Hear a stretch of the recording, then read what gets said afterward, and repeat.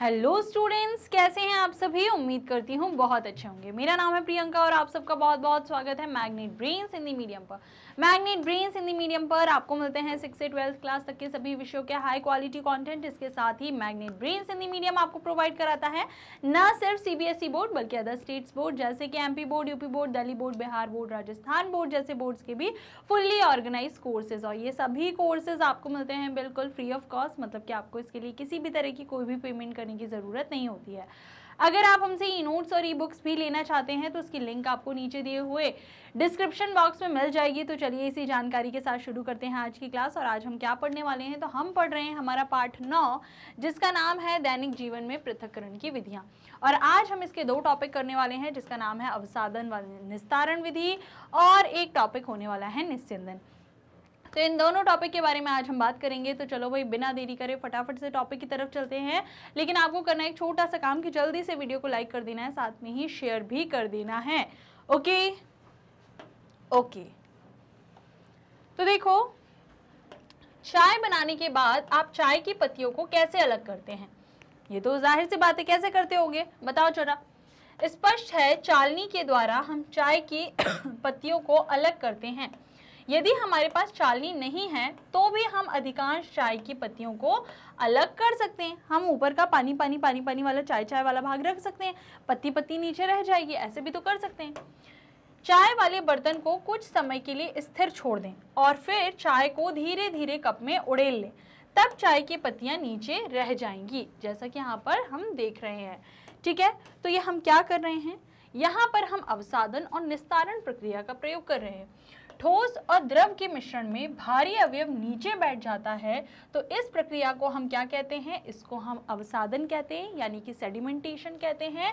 और जब बर्तन को तिरछा करके द्रव को या जल को हटाया जाता है तो ये प्रक्रिया क्या कहलाती है? निस्तारण, यानी कि डिकेंटेशन कहलाती है। तो इस प्रकार से हम दोनों प्रक्रिया को एक ही प्रक्रिया में कर लेते हैं। ठीक है? कैसे कि कुछ देर तक उसको छोड़ दें तो उसमें जितने भी भारी अवयव होंगे, वो क्या होंगे? नीचे बैठ जाएँगे। तो ये क्या हो गया? ये हो गया अवसादन। और जब अवसादन हो जाएगा तो हम ऊपर की शुद्ध शुद्ध चीज़ को जब निथारेंगे, निकालेंगे तो ये क्या हो जाएगा? ये निस्तारण हो जाएगा। ठीक है? आगे देखते हैं। फिर चाय की कुछ पत्तियाँ बच सकती हैं। उसके बाद भी चाय की पत्ती और उसमें चाय भी बची रह जाएगी। अब निस्तारण की प्रक्रिया से पूरी तरह चाय की पत्तियाँ चाय से अलग नहीं होती हैं। इसका अर्थ यह है कि इसको अलग करने के लिए यह उपयुक्त विधि नहीं है। मतलब कि हम लगभग लगभग काम तो कर लेते हैं, लेकिन इसको इतनी भी उपयुक्त विधि हम नहीं कहेंगे। ठीक है, यहाँ पर देखिए अच्छा निस्तारण प्रक्रिया का उपयोग चावल और दालों को धोने और साफ़ करने में भी किया जाता है। तो आपने देखा होगा, चावल दाल को धोने के बाद एक्स्ट्रा पानी को निकाल दिया जाता है और जो बची हुई बचा हुआ अनाज है जो हमारे काम की चीज़ें हैं उनको हम साइड में कर लेते हैं। तो ये भी यहाँ पर भी अवसादन और निस्तारण प्रक्रिया का प्रयोग होता है। अब अगर हम चाय की पत्ती वाला बात करें तो यहाँ पर अगर अवसादन और आ, क्या निस्तारण नहीं हो रहा है तो हम एक और विधि का प्रयोग करेंगे जिसे हम कहते हैं निस्यंदन यानी कि फिल्ट्रेशन। ठीक है? तो अब चाय को चालनी से छानने पर सारी चाय की पत्तियाँ चालनी में रह जाती हैं और चाय चाय जो है वो पूरी नीचे कप में आ जाती है। तो चाय से चाय की पत्तियाँ पृथक करने की इस प्रक्रिया को हम क्या कहेंगे? इसको हम निस्यंदन यानी कि फ़िल्टर करना कहते हैं। क्या मटमैले जल के निस्यंदन के लिए चाय की चालनी का उपयोग कर सकते हैं? अब देखो, जो मटमैला पानी है, उसके लिए क्या हम निस्यंदन वाली विधि का प्रयोग कर सकते हैं। निस्यंदन में अभी जो हमने ऊपर किया, उसमें हमने एक चालनी का प्रयोग किया। क्या उसके द्वारा हम मटमैले पानी को साफ़ कर सकते हैं? बताइए। साथ ही मटमैले जल को कपड़े के एक टुकड़े से भी छानने का प्रयास कीजिए और अंतर देखिए। अब अगर इससे आपका काम नहीं हो रहा हो तो एक और काम कर सकते हैं कि आप एक कपड़े का टुकड़ा लीजिए और उसको रखिए और उससे उसको छान करके देखिए। क्या मटमैला पानी अब आपको शुद्ध सफ़ेद दिखाई दे रहा है? कपड़े के टुकड़े की बुनाई में धागों के बीच छोटे छोटे रंध्र या छिद्र होते हैं। कपड़ों के इन छिद्रों का उपयोग छानने के लिए किया जा सकता है। प्राचीन काल में भी लोगों ने इस पद्धति को अपनाया, लेकिन इसके जो अदर, जो दूसरे बड़े बड़े थोड़े से ऐसे कोई अशुद्धियाँ होती हैं, वो तो दूर हो जाती हैं, लेकिन क्या हम ये कह सकते हैं कि पानी का रंग बदल जाएगा?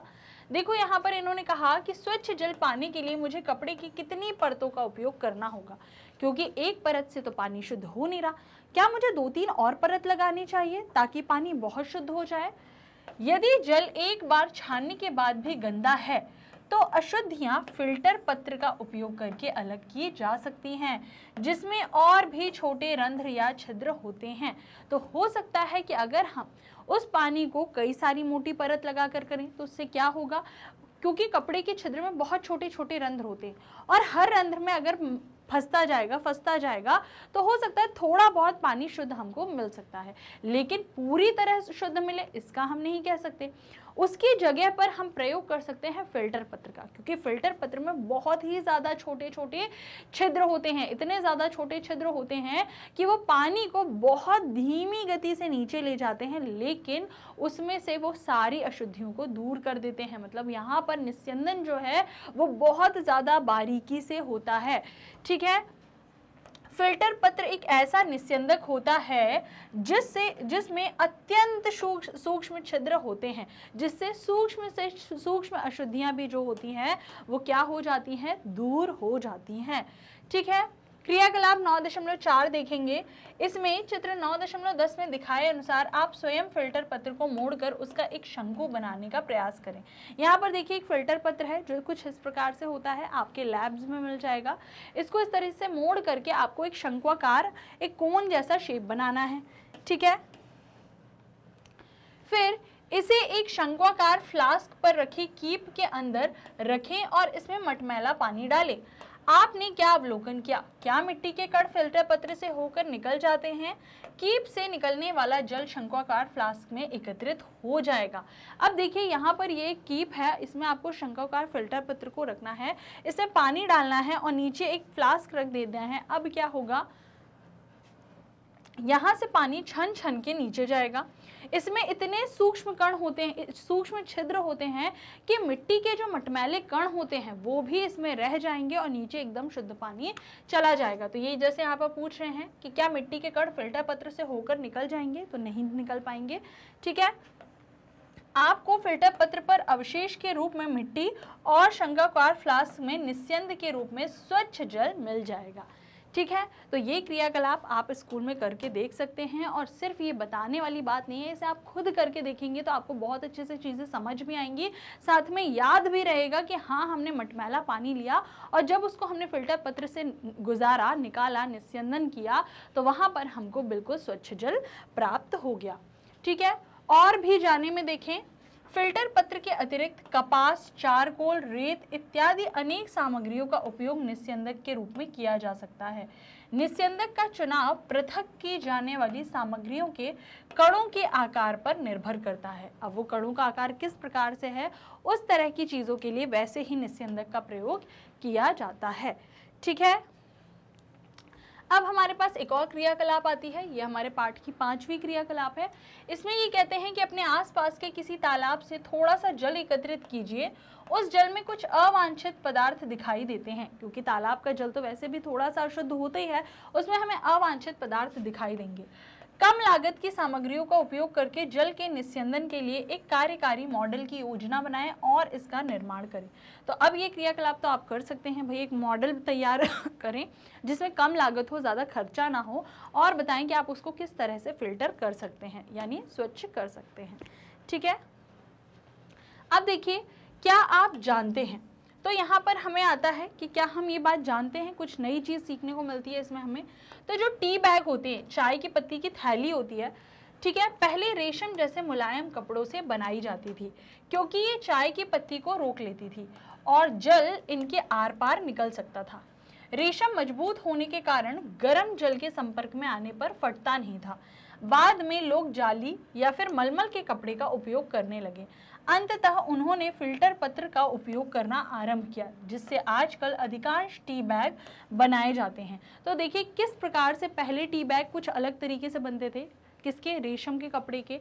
फिर धीरे धीरे किससे बनने लग गए वो? उसके बाद मलमल के कपड़े, जाली, इन सब का प्रयोग करके बनने लगे और आज के टाइम पे जो बनते हैं, वो किससे बनाए जाते हैं? उनको फ़िल्टर पत्र से बनाया जाता है। तो देख सकते हैं किस प्रकार से ये टी बैग्स को हम बनाते हैं और इनका प्रयोग होता है। ठीक है? और इसी के साथ यहाँ पर हमारे ये टॉपिक भी क्या हो जाता है? ख़त्म हो जाता है। हमने इसको काफ़ी अच्छे से समझ लिया है, देख लिया है। और अब हम अपना नेक्स्ट टॉपिक देखने वाले हैं अपने नेक्स्ट वीडियो में। तो आगे आने वाले सभी वीडियोज़ के लिए और इसी तरह के और अच्छे अच्छे वीडियो देखने के लिए जुड़े रहिए मैग्नेट ब्रेन्स के यूट्यूब चैनल वेबसाइट और एप्लीकेशन के साथ। मैग्नेट ब्रेन्स है इंडिया का number 100 percent free online education platform अगर आप हमसे ई नोट्स और ई बुक्स भी लेना चाहते हैं तो उसकी लिंक आपको नीचे दिए हुए डिस्क्रिप्शन बॉक्स में मिल जाएगी। इसी के साथ हमारे पास है आपके लिए कई सारे टॉप कोर्सेज जो कि यहाँ स्क्रीन पर आपको दिखाई दे रहे हैं। और ये सभी टॉप कोर्सेज आपको मिलते हैं हाई क्वालिटी एजुकेशन के साथ इंग्लिश और हिंदी दोनों ही मीडियम में। साथ ही इन कोर्सेज के लिए आपको किसी तरह का कोई पेमेंट नहीं करना पड़ता, क्योंकि सभी टॉप कोर्सेज आपको उपलब्ध कराए जाते हैं हंड्रेड फ्री ऑफ़ कॉस्ट अगर आप हमसे अदर सोशल मीडिया प्लेटफॉर्म पर भी जुड़ना चाहते हैं तो आप हमें फॉलो कर सकते हैं फेसबुक पर इंस्टाग्राम पर ट्विटर पर और व्हाट्सएप पर भी। तो अगर आपको आज का वीडियो अच्छा लगा हो तो वीडियो को लाइक करें, दोस्तों को शेयर करें और चैनल को सब्सक्राइब करना ना भूलें। मिलते हैं नेक्स्ट टॉपिक के साथ, तब तक के लिए बाय बाय